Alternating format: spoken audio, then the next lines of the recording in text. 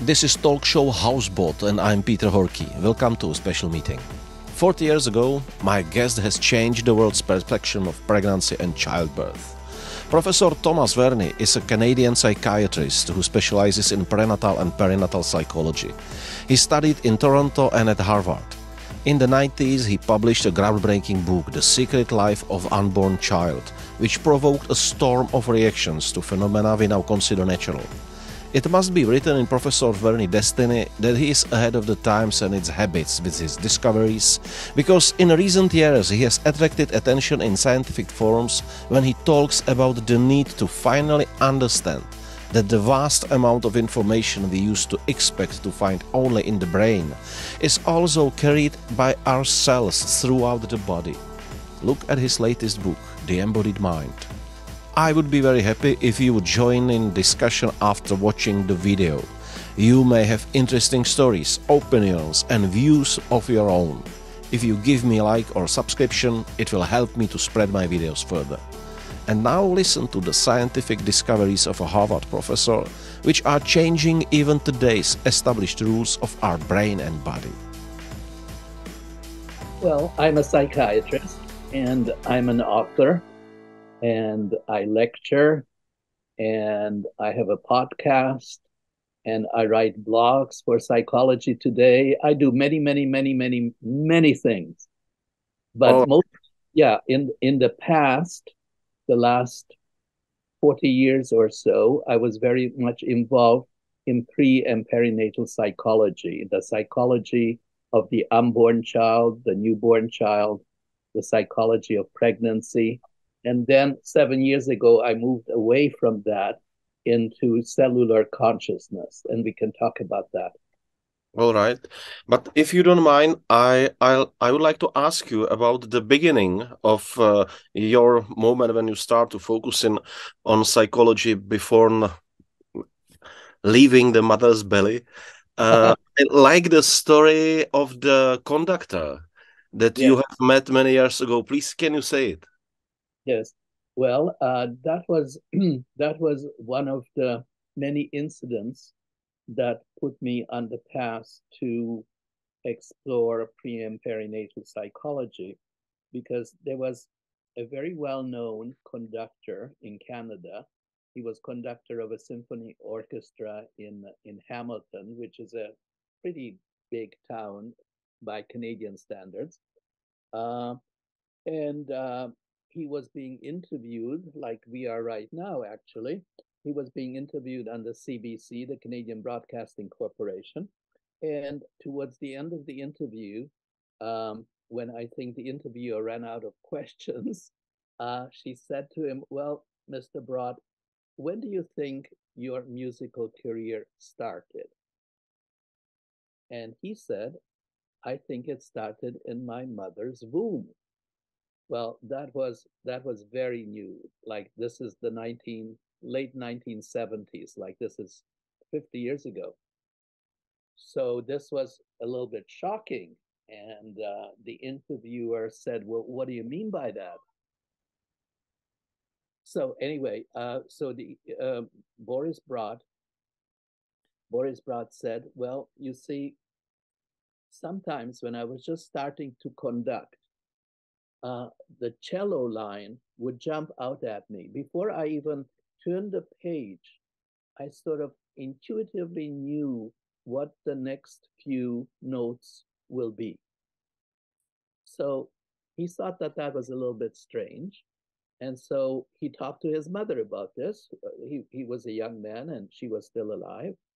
And she said to him, Well, what are the pieces that you are that you're conducting that seems so familiar?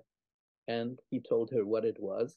And she said, Well, that was exactly, that was exactly the piece that I was rehearsing on my cello. She was a cello player while I was pregnant with you. Mm-hmm. So that was one of the incidents that kind of made me think, like, what's going on here? Um, the, the one that really sort of the very first one that got me going. May I tell you? Mm-hmm. Yeah, yeah, please. Um, I was just a young psychiatrist, and uh, I was very much interested in dreams, which is sort of another story because I got into dreams when I was 13 years old in Vienna. Um, but I was very much interested since the age of 13, since I read uh, Sigmund Freud's interpretation of dreams. In so 13 I, years, not knowing German language with a dictionary in your hand. That's, that's something special. right. That's right. You you heard this story before. And so, uh, yeah, so uh, here I was, was a young man, and uh, we were discussing his dream, and suddenly he started crying like a little baby. And I did not interfere. And after about 10 minutes, he came out of it. And I asked him what happened. Hmm? And he said he had just found himself in a crib, in a baby crib, and he was crying for his mother. Then he said, being a somewhat skeptical young lawyer, actually, then he said, You know, there's something wrong with this experience that I just had because I've actually seen pictures of myself as a baby in a crib. And that crib was blue. I swear, he said, that, that, that was a blue crib. And the one that I've just found myself in right now was white. So I said, Well, go home to your mother and perhaps she can throw some light on this. So next week he came back and he said, This is absolutely amazing. But it seems that when I was born, my parents were very poor. They did not have enough money to buy me a crib. And so they borrowed a crib from a neighbor, and that crib was white. And then a few months later, somehow they got some money together. They bought me a new crib. That crib was blue, and that's the one where all the photographs were taken. So there was no way, there was no way this young man could have known. I mean, these are not things that parents discuss with their children, right? So there was no way. So that was the very first experience, actually, that got me thinking. But you see, I was very well educated. I went to the University of Toronto, which is one of the best medical schools, certainly in Canada. Uh, I went to Harvard in Boston. So Everywhere I went, we were taught that children before the age of two do not remember anything. And so we were we were brainwashed to believe to believe that. But when I started having my very own experiences, then I thought, well, perhaps, you know, perhaps all that orthodoxy is wrong. And so that's what got me involved in doing more and more research about pre and perinatal life and eventually led to the writing of the book, The Secret Life of the Unborn Child, uh, that beyond all expectations, honestly, you know, if I would have sold 5,000 books, I would have been happy. Mm-hmm. Uh, but beyond all expectations, it just kind of stormed its way into the world. And, and people are still reading it. And it has been published in 27 countries. So has been a huge success. And it has really influenced my life tremendously because it has given me great opportunities to travel and to talk about these things and to meet interesting people. So it has been a wonderful experience. Mm-hmm. Uh, your book, you probably know it, and uh, your book was really uh, maybe, but I don't know exactly if you know it because it was distributed, for example, in Czechoslovakia during a communist time as a prohibited book. That people personally rewrite it, and the special original copy translated to Czech language and Slovak language has been distributed just among the people to to share the information. So your mm. book has unbelievable story. I, I didn't know that. So it was kind of an underground bestseller. Exactly, exactly. So you have a lot of money in Czech market to gain. okay, well, I, am coming in two weeks to collect it. So it will be the, the right time. Great. I, I want to say, uh, I'm sure that many people would uh, say uh, some interesting family stories, how father remembered something that is impossible to remember because he was too small. And I believe that many scientists have heard it. But you was the first who said, oh, there is something special that I should focus on. And it needs a courage to go against just the system of that time. Yes, yes, it does. It takes a, a lot of courage. Uh, you have to you have to swim against the stream. That's it. Uh, when I, I, I published a small paper um, in in a medical journal, um, which essentially said that uh, that drinking during pregnancy is uh, is bad for for the baby that you are carrying. Well, you have no idea uh, the hostility that that sort of brought about by obstetricians and gynecologists and other doctors. Uh, they they stopped subscribing to that magazine. They were so upset with me. Um, and that's just one of many, many examples. And then, of course, you know, there were quite a few feminists who said, oh, here is another man who is telling us how we should treat our bodies, which was not what I was saying at all. I was just saying that if you want to have a healthy child, you better stop smoking and you better stop drinking, which today is pretty well, you know, yep. accepted. But at that time, this is early 1980s, it was not. Mm-hmm. So, you know, I, I actually, you know, without, without trying to sound too full of myself, but I, I have I have instituted some important changes in society as a result of my work. Yeah, definitely. Yes, there is no discussion about that.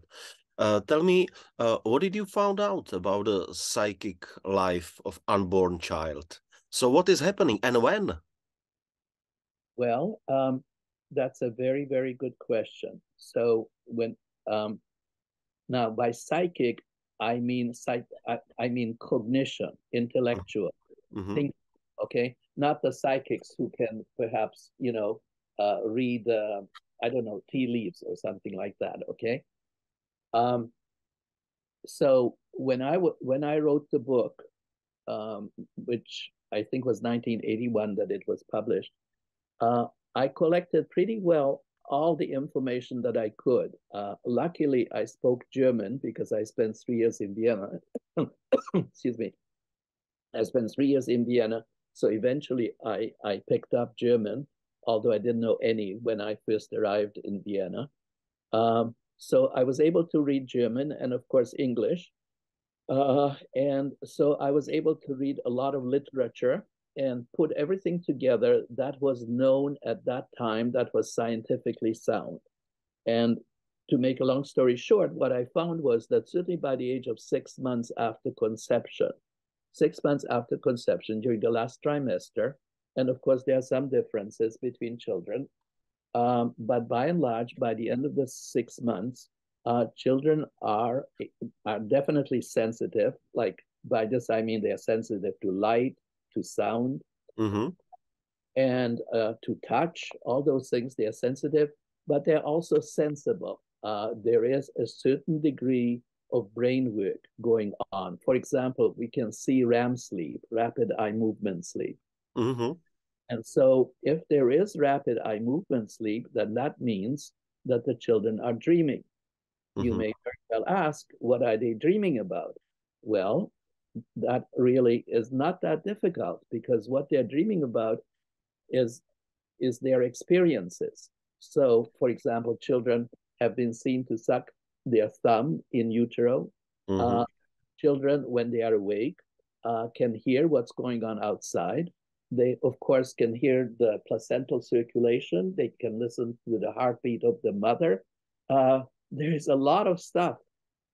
There's a lot of stuff going on, and they will be dreaming about that. And we know that they're dreaming because the REM sleep shows that they are dreaming. Then we can also talk to children.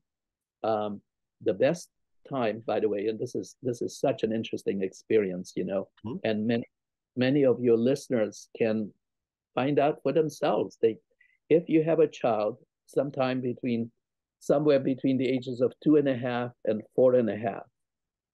When you give them a bath and they are very relaxed uh, in a very sort of non directive way without implying that this is really uh, important to you. You just say, Do you remember anything about your birth?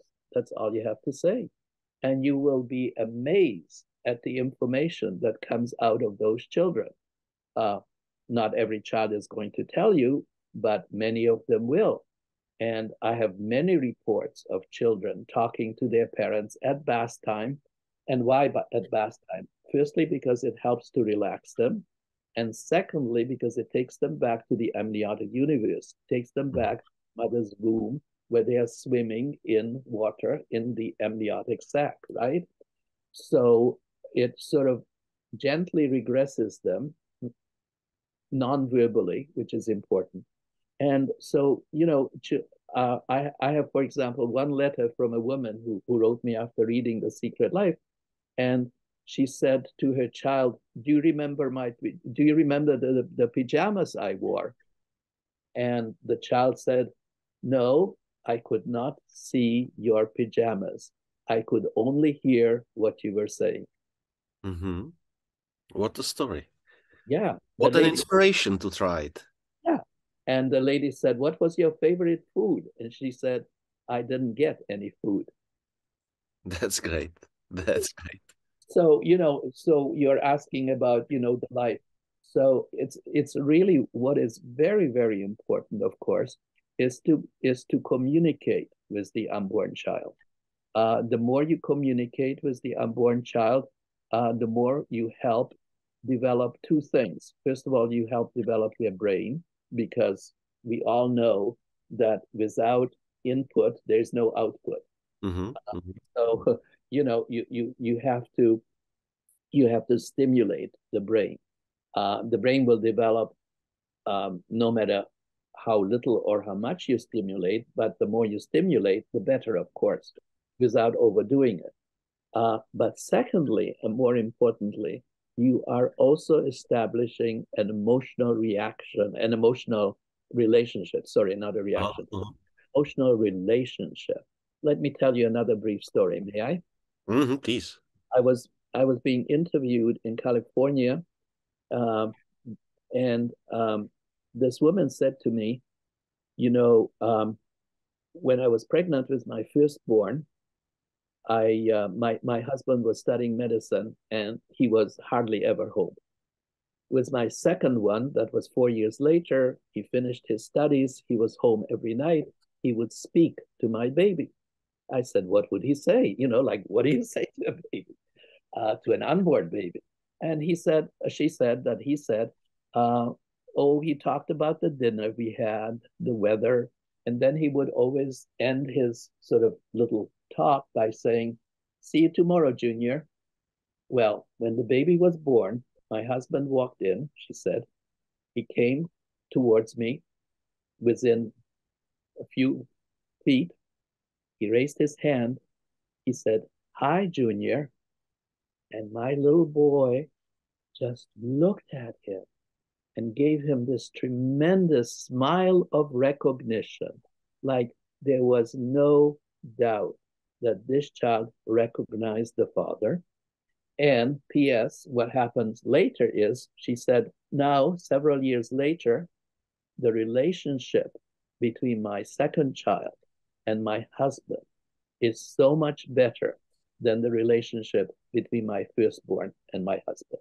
And mm-hmm. she was sure, and I agree, and I'm sure you will agree too, uh, that this was due to the fact that they bonded prenatally. Mm-hmm. I think in terms of the psychic life of the unborn child, it's a very rich life. Now, uh, a great deal of the time the baby is sleeping, but when the baby, when the unborn baby is is awake, it's very important to talk to him, to sing to him, to play music to her, uh, and all those things that you would do with a real born child. And then that child is going to be better developed and healthier, excuse me, and happier. I'm happy to hear this information because uh, uh, with my wife we have two daughters yes. and we have been singing to them, talking to them, and we enjoyed it. We just say, well, we want, we just already have another member of family, so she belongs to us. And I'm happy to hear that uh, it has more sense uh, it has even a scientific sense and uh, that it works. That's great. Absolutely, it works. It works, and uh, you know, like uh, my my my daughter, she sort of followed uh, the prescription in my book, The Secret Life of the Unborn Child, and uh, she had wonderful pregnancies, and the children are all well, and it it really, you know, it works. Uh, can we briefly touch the very difficult topic of birth? Yeah. Uh, if it is difficult, if it takes a long time, if it needs special, I don't want to say invasion, but some special actions, uh, yeah. how it change everything, relations, uh, the approach to world, uh, approach to life at all. Yes. Um, at what at one time uh, in in my medical studies, um, I was studying in Toronto, as I've told you, and um, at uh, at a certain point in my studies, I think it was in the, my fourth year, uh, I spent uh, one month on the obstetrical wing of, of a hospital as part of my uh, education. And I delivered 26 or 27 babies. I forgot it, the exact number. But I absolutely, I absolutely hated the way obstetricians were treating the women. Mm-hmm. And they would yell at them and they would shout at them, push, push, push. Um, it was it was so unfeeling, so inhuman uh, that it really turned me off obstetrics, and uh, I, I, finally went back to sort of my first love, which was psychiatric. And then in my work, I have sort of brought the two of them kind of together, my two interests, obstetrics, mm-hmm. psychiatric. Um, and I think what is important about birth is that um, you should you should only you should only be surrounded by people who love babies and by people that you have a good relationship with. Mm-hmm. And you are in the presence, let's say, let's just, for example, have the presence of a mother uh, that you don't really get along with very well, but you feel obligated to have her present because she wanted to help you, so to speak. Uh, but you really don't have a good relationship. My advice is don't have her present. Okay. Uh, anything that is going to increase stress for the woman while she's delivering the baby is going to interfere with the delivery. So only have good people around you, loving people around you. Uh, play your favorite music. Do everything you can to decrease the trauma of birth. It doesn't have to be traumatic, but it's one of the things that we have very little control over. We don't have control over how big the baby is going to be. We don't have control over how big uh, the woman's pelvis is. I mean, these are things that cannot be changed. But what you can control is your stress level and the people who are delivering or being present at the baby. Uh, now, the other thing is that having said all that, and if if there is if the birth is traumatic, I don't know how your children's birth was, mm-hmm. but if if you have bad luck and the birth is traumatic, the one thing we have to remember is that children are very resilient. Mm-hmm. And if the thing you have to remember is that if there was trauma, perhaps that child will need a little bit more affection, a little bit more care, a little bit more love than perhaps a child who was born under less stressful circumstances. But love, affection, sensitivity, um, all those things can make up a lot for the loss of normal birth. So, you know, it, it it's not uh, it, it, it's not a time to throw up your hands and say, oh my goodness, you know, this is going to be a traumatized child and a traumatized person for the rest of their life. No, we can do a lot of healing. All right. Now we are just touching and opening so many topics. I'm sure that thousands of mothers are now thinking and asking, having many questions. But today I want to talk more and touch the topics that you are focused on because during the time, I think maybe that you have it maybe in your destiny that you are uh, swimming against the current uh, quite usually. So then you started to thinking about the brain and yeah. about connection of brain and body. Right. What topic? Right. Well, you see, in terms of what we have just been talking about, I indicated to you that when I wrote the book, uh, we had a lot of, uh, we didn't have a lot, but we had enough research for me to write the book and to make it scientifically sound. But I was always bothered by the fact that there were people around who seemed to recall events which happened before six months of of of uh, of, of in, in got it. Yeah. Okay.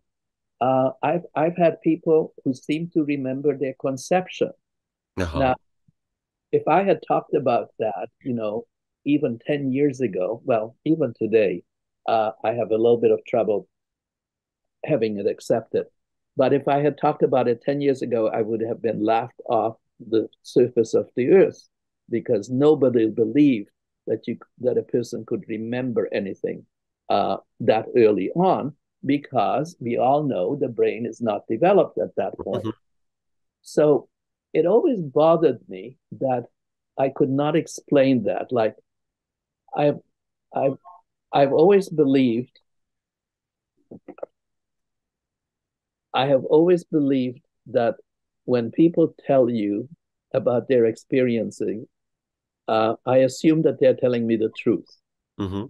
And so, if they are telling me the truth, and if they do remember things that happened to them, and in some cases, even before conception, then I would like to know how that happens. Mm-hmm. Mm-hmm. So, like I say, you know that that always sort of was in the back of my mind. I would like to. I I, I I'm attracted to enigmas. I'm attracted to unexplained phenomena. Mm-hmm. And then seven years ago, seven years ago, I read in one of the medical journals, one of the medical journals, about a uh, Frenchman 42 years old, who had developed some weakness in his leg. And he went to see his doctor, and the doctor did all kinds of tests. One of the tests they did was to take a skull x ray. And to everybody's astonishment, it turns out that this man had virtually no brain. He had water. He no had what brain.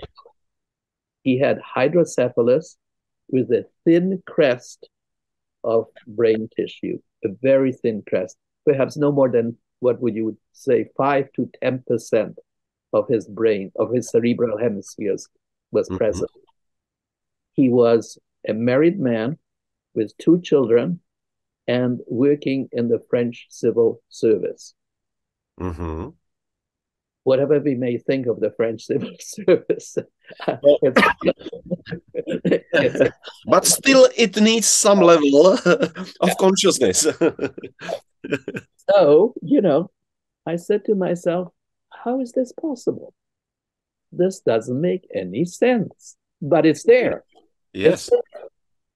Uh, so there has to be an explanation.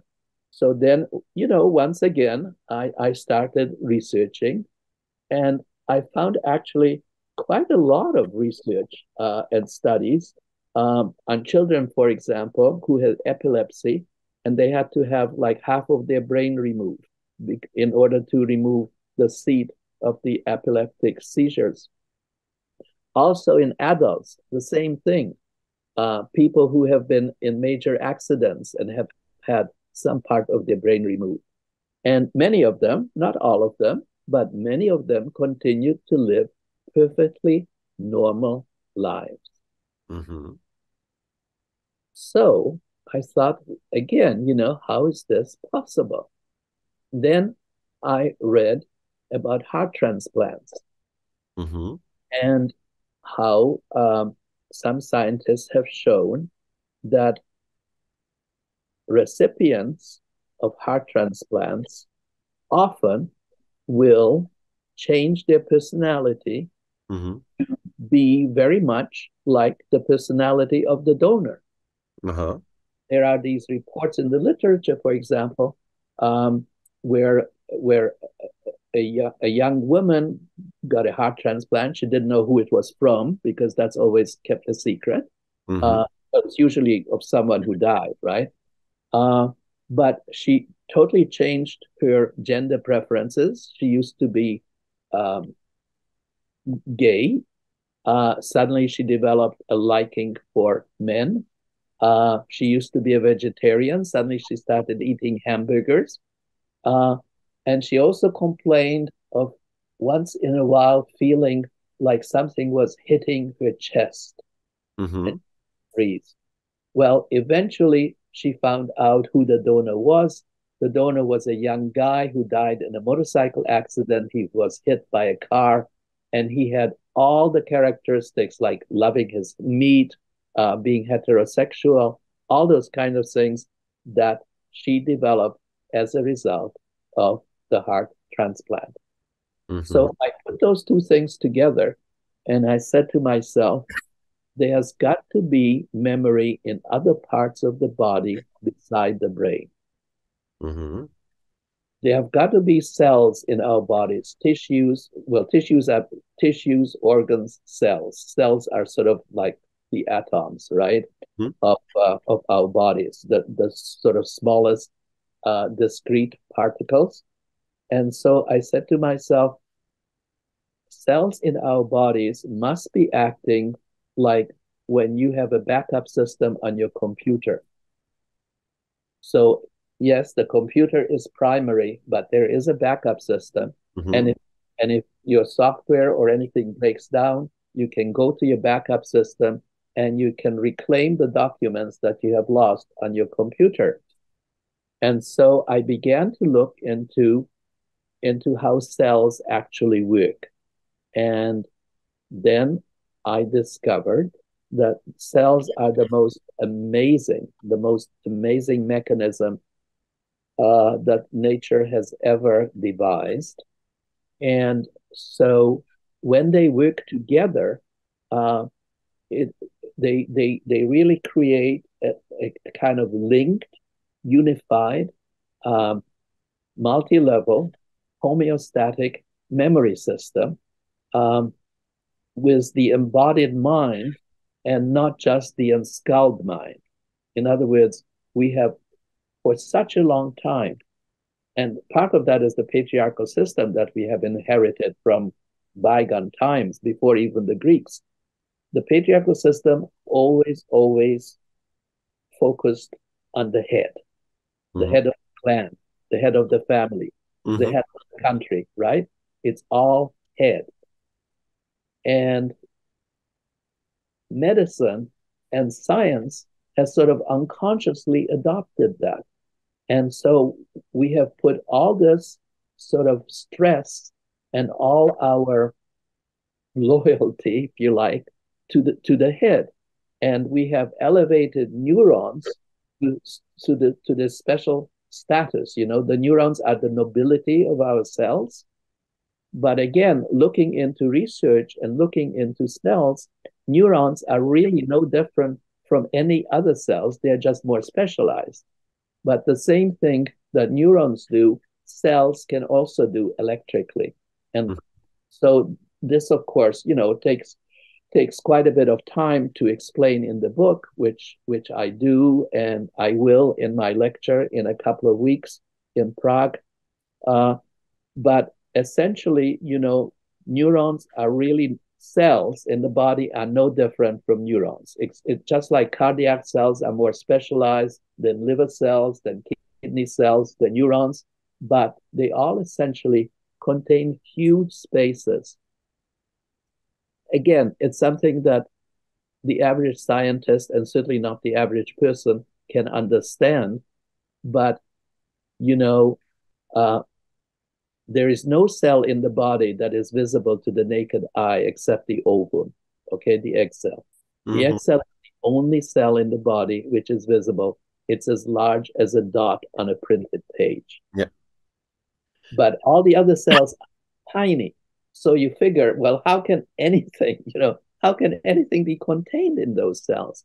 But there's a tremendous amount of uh, stuff, proteins, um, DNA, RNA, uh, water, uh, all kinds of all kinds of tiny little apparatuses, um, which uh, which are just like the larger um, organs in our bodies. Okay, so for example, there is such a thing as mitochondria, which are the lungs of mm-hmm. the cell, etc., mm-hmm. etc. Et so, um, you know, there is tremendous amount of space in, uh, relatively speaking, in a cell, and so there are several possibilities. Uh, I don't know for sure. I cannot say where memories are lodged in a cell. Uh, some people thinks it think it's in the cell membrane. Some mm-hmm. people think uh, that it's in microtubules, which are another tiny little structure in uh, in the cells. We don't know yet where. There are, you know, several several theories on that. But all I know for sure, all I know for sure is that this linked cellular system is part of our brain, so to speak, our mind, our consciousness, all of that really is connected to, to the body. And so why, why is this important? So, you know, practically speaking, okay, it, it sounds interesting, I hope, uh, theoretically, but, you know, is there a practical point here? Yes, there is. Um, for example, I mean, I could go in a hundred different directions, but let's go in one. Everybody worries about Alzheimer's, right? So half of the drug companies in the world, medical doctors, neurologists, they're all working to find what it is in the brain that creates these amyloid, um, these amyloid deposits that get in the way of the brain working properly. But, but uh, researchers in Australia, at a university in Australia, discovered that actually the liver produces amyloid tissue. Uh-huh. And so, if we were to pay attention to that and prevent, in some ways, the liver A from producing amyloid and B from having it deposit, having it traveling to the brain, interfere with the uh, amyloid tissue arriving in the brain, uh, we could perhaps do a lot on Alzheimer's. Mm-hmm. But that, but that would take that would take an understanding that the brain is connected to the rest of the body, which you know, I mean, everybody knows in some ways, but they don't really follow it. Okay, uh, they pay lip service, as we say in English. They pay lip service to it, but they don't really understand it. Let me give you another another example. Very, very, very important. Um, we have discovered that the gut contains a huge number of good bacteria. These are these are not bad bacteria. These are very, very important. Yeah. It, it's called the gut microbiome. We have five pounds, five pounds of bacteria and viruses in our gut. Mm-hmm.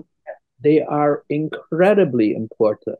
So, for example, in in my own uh, in my own profession, you know, we, we, we prescribe antidepressants to people.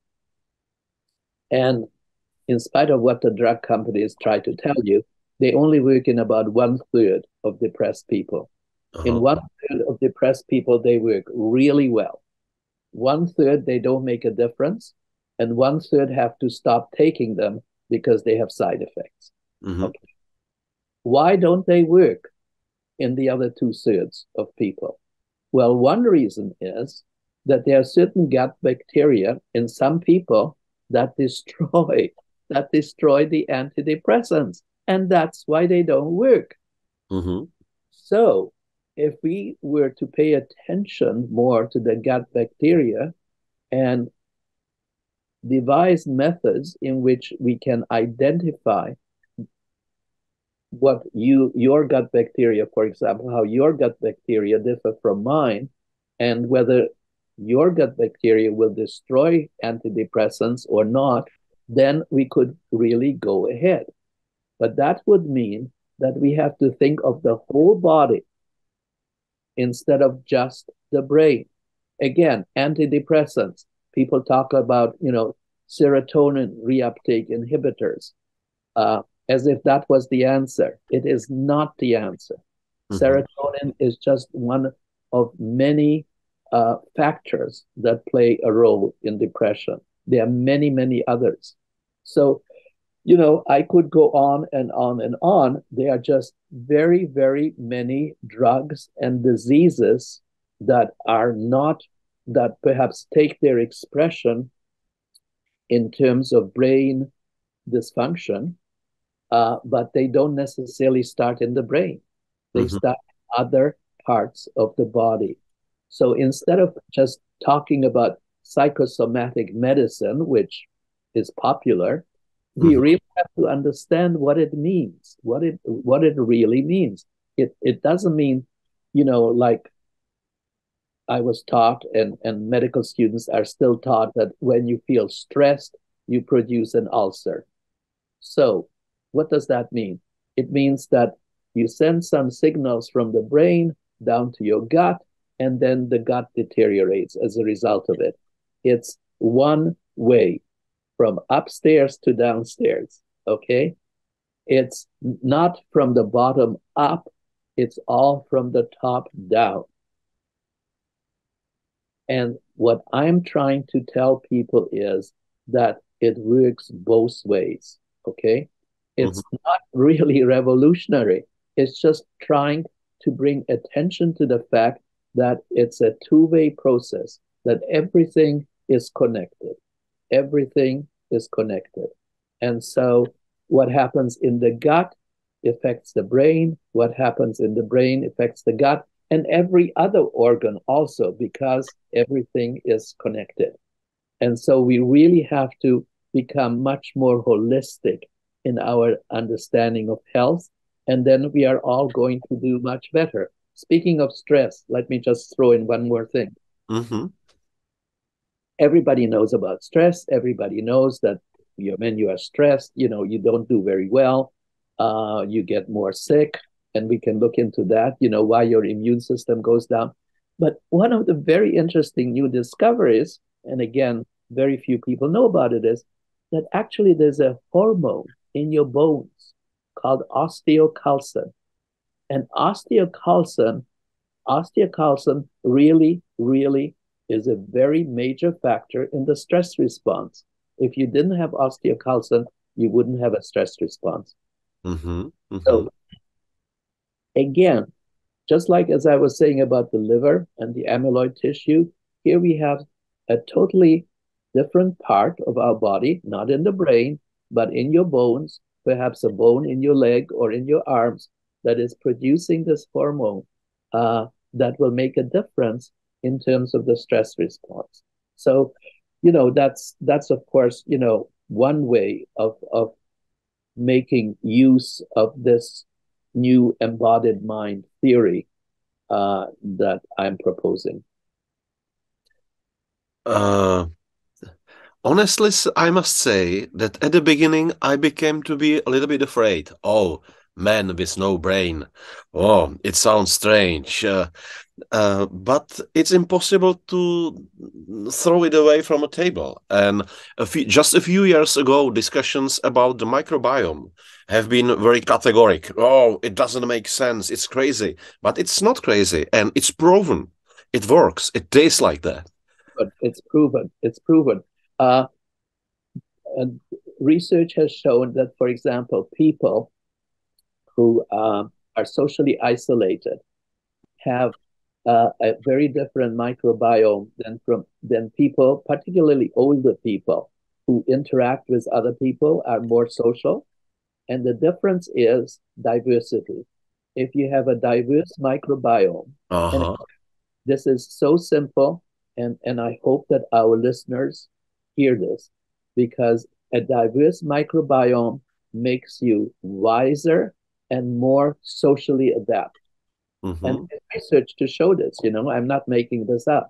So, you know, once again, we have to look at every part of the body and how it contributes to your psychological and physical well being. What is the response when you have your paper on a conference and when you explain these theories? It's very good. It's very good.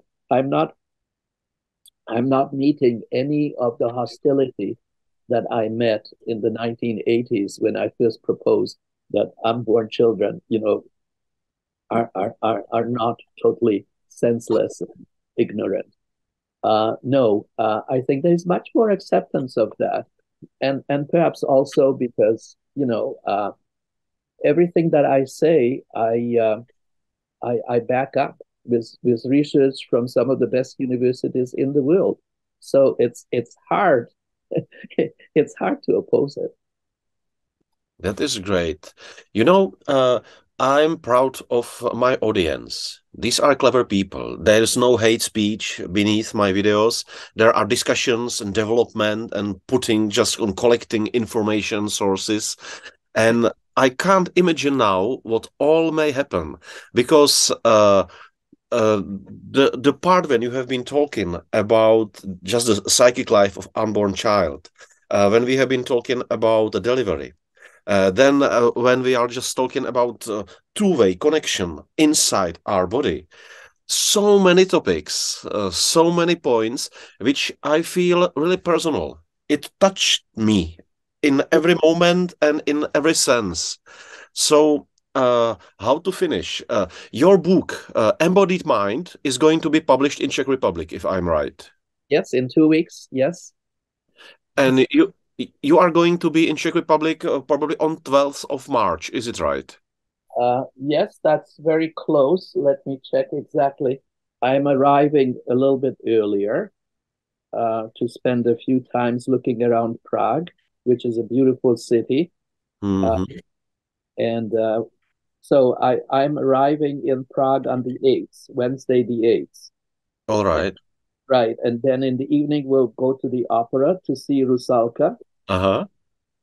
And then uh, Thursday, Friday, sightseeing.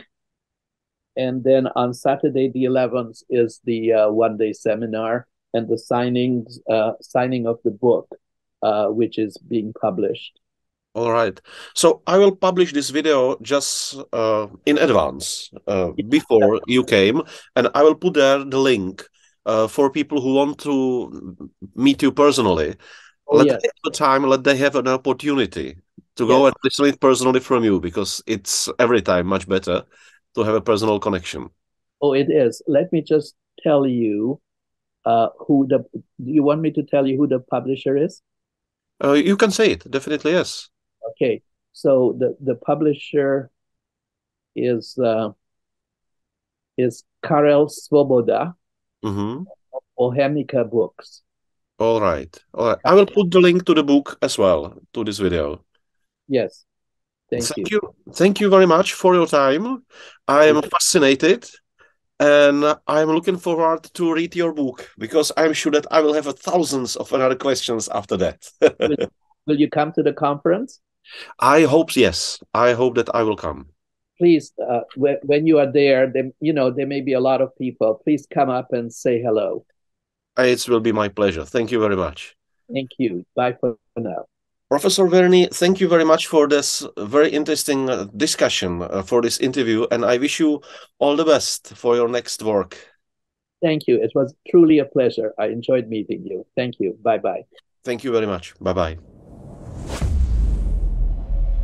Thank you for listening to the end. As I said at the beginning, join the discussion. I look forward to the debate. If you click subscribe, you will get information about other interviews and it will help me as well. Have a great time and see you next time. Your Peter.